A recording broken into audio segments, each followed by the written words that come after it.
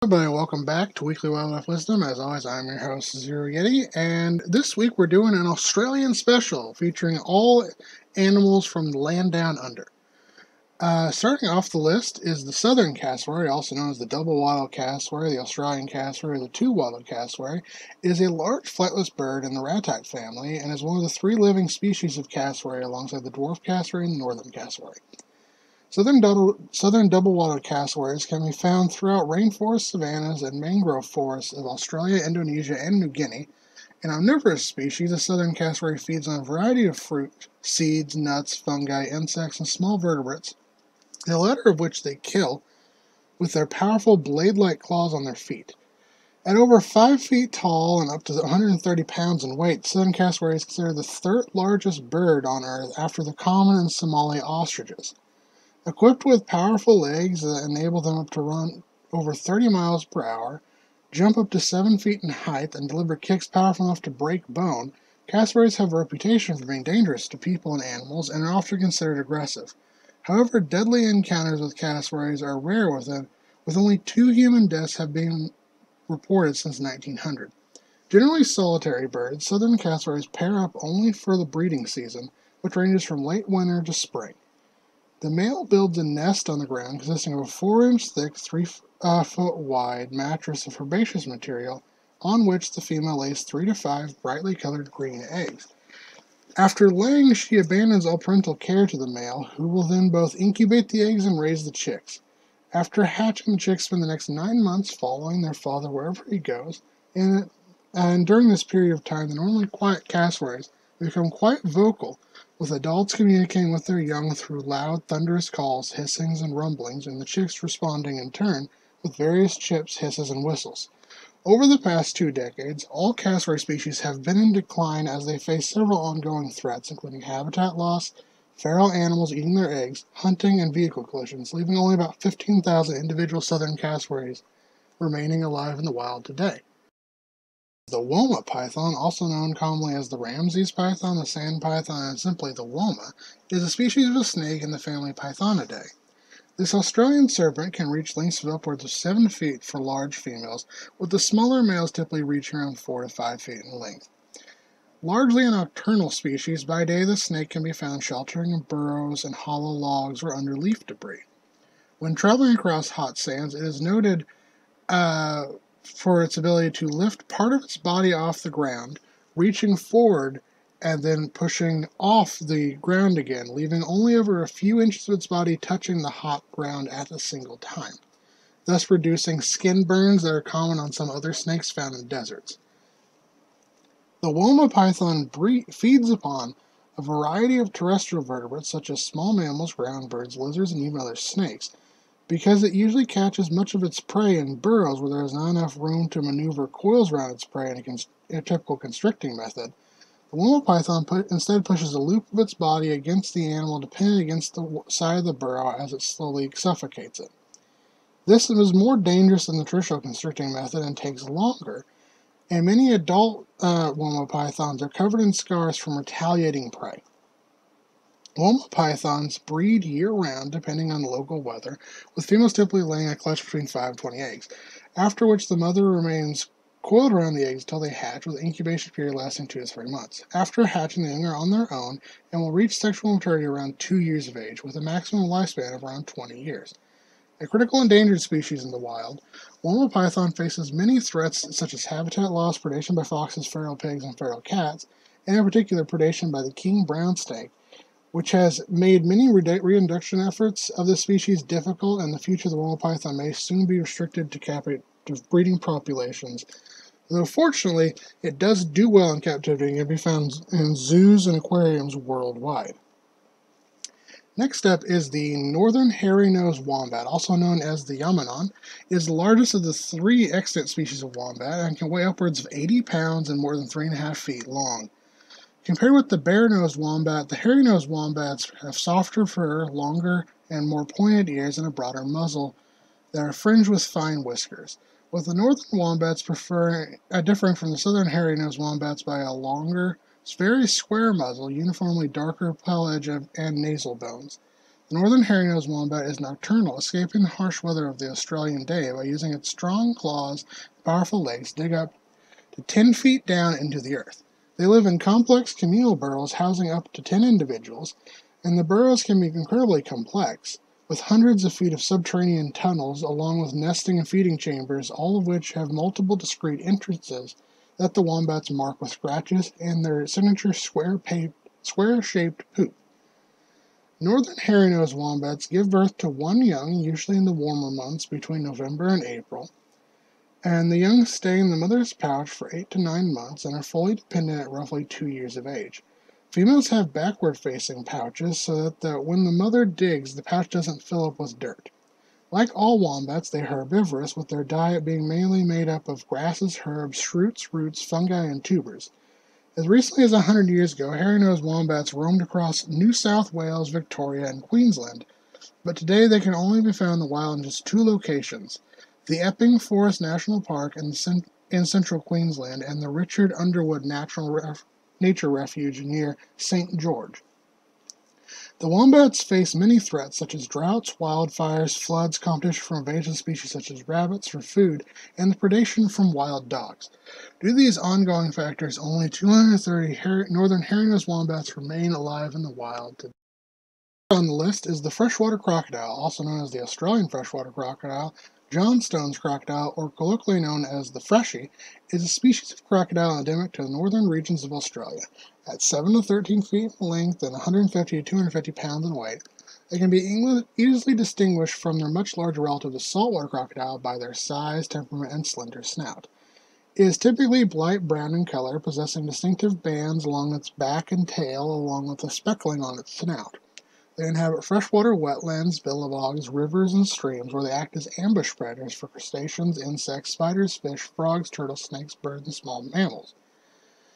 Freshies themselves are preyed upon by saltwater crocodiles and olive pythons. And unlike the much larger saltwater crocodile, freshwater crocodiles are not known to be man eaters and are actually quite skittish. Although they will attack in self defense, there have been no known fatalities from freshwater crocodiles in within a hundred years. Freshwater crocodiles are polygynous in their mating system, where each male mates with one or more females. Mating typically occurs in winter between August and September, after which the female digs a nest along the riverbank and lays between 13 and 20 eggs in one night. As the offspring hatch out after about 65 days of incubation, the female is noted for carrying them to the water in their mouth.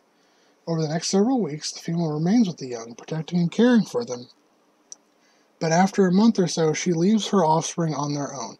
Male freshwater crocodiles reach sexual maturity at 16 years old, whereas females mature at 14 years of age, with both sexes routinely known to live 50 years.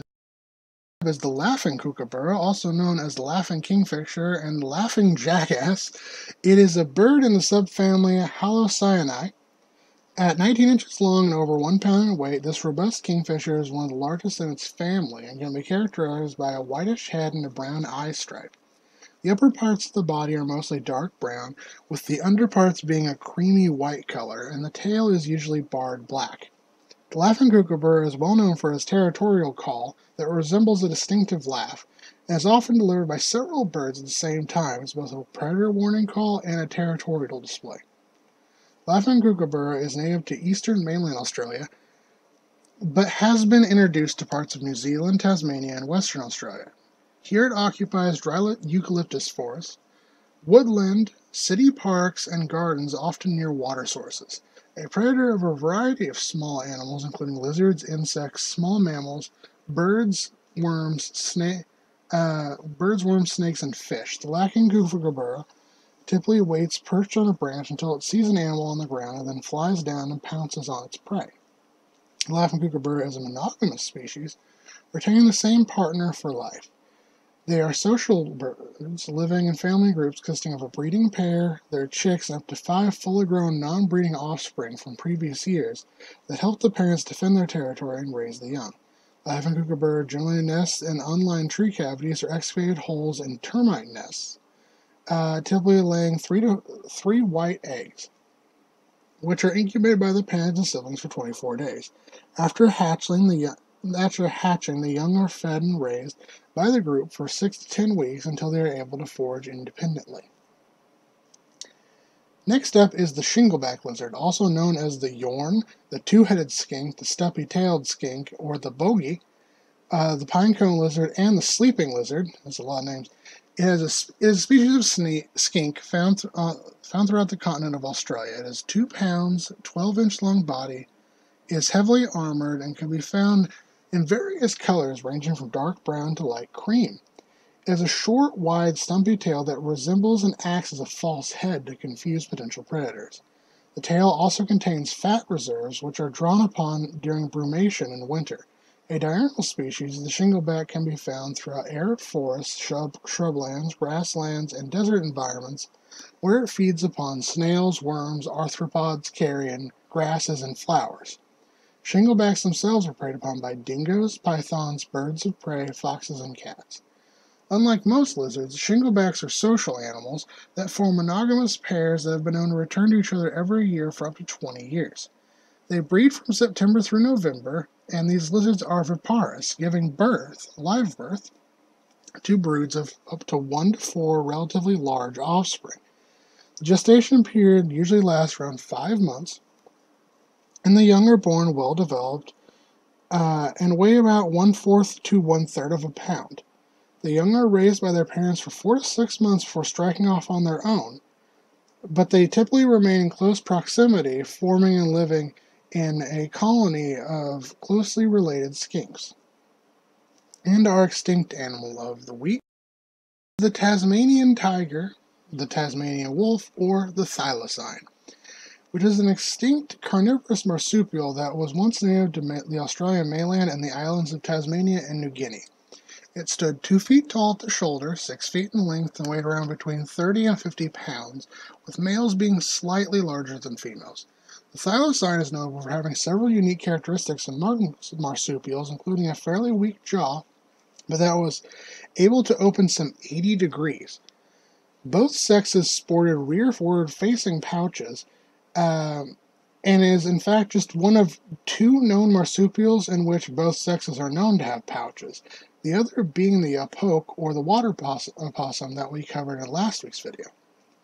The thylacine sported short, dense fur characterized by a distinctive striped pattern, prompting the common name of the Tasmanian tiger. It is noted as having a stiff and somewhat awkward gait, making it unable to run at high speeds, but easily able to travel long distances. It could also perform a bipedal hop in a fashion similar to a kangaroo which captive specimens uh, demonstrated various times. Uh, this allowed the animal to balance on its hind legs and stand upright for brief periods of time. Also enabled the animal to move faster than it would typically by running and could possibly use as an escape method when facing predators.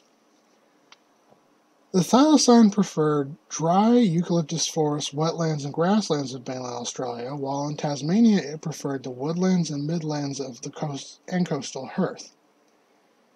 Uh, it was a largely nocturnal and crepuscular animal, spending daylight hours in small caves or hollowed out tr- tree trunks in a nest of twigs, bark, or fern fronds, emerging at night to hunt. Tasmanian tiger was a social animal Living and hunting in small family groups, a persistent pursuit predator, the thylacine pack would have worked together as a team to single out one prey item and then pursue it until the prey item was exhausted. Prey is believed to have been found in the form including of kangaroos, wallabies, bandicoots, possums, wombats, emus, and other ground birds. Thylacines bred year-round, with the mothers giving birth between two and four joeys carrying the young in a pouch for up to three months. The young will then stay with the family pack until fully grown before venturing out on their own to start their own family packs. Thylacines can live between 5 and 10 years, and it's thought that competition with both humans and dingoes drove the thylacine to extinction on mainland Australia some 2,000 years ago. Although extinct on the mainland, it survived. Uh, it survived in to the 1930s on the island state of Tasmania, where unfortunately rampant hunting by European settlers and the extinction of several common prey species led to the population plummeting. The final nail in the coffin for the thylacine came in the form of a distemper-like disease, which likely jumped to thylacines by infected foxes and dogs. The last captive thylacine, often referred to as Benjamin, lived at the Hobart, Hobart Zoo until its death at, on a particularly cold night of the 6th of September 1936 when it succumbed to hypothermia after its keeper forgot to open the hatch to its heated shelter. There is some good news to the story of the thylacine, however, as in 2017 the thylacine genome was officially sequenced. This gives hope to the idea that we may one day clone and resurrect the Tasmanian tiger. As always, I have been your host, Zero Take care to my guys, gals, and non-binary pals.